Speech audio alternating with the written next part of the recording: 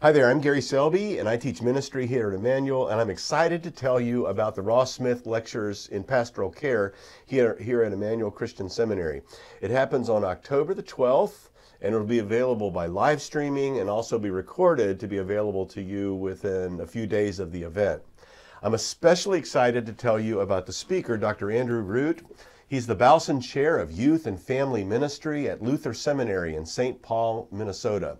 I first came in contact with his work a couple of years ago when I was asked to review this book, The Pastor in a Secular Age. And I have to tell you, reading this book was a paradigm shift for me. Uh, one of the things I said in my review was that this was the one book I wish I had had when I went into local church ministry almost 40 years ago. Root explores the questions um, about pastoral identity that I think I struggled with the most throughout much of my ministry. Who are we as pastors? What are we really supposed to be doing?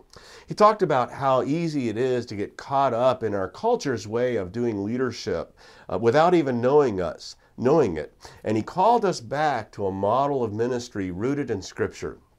It was powerful.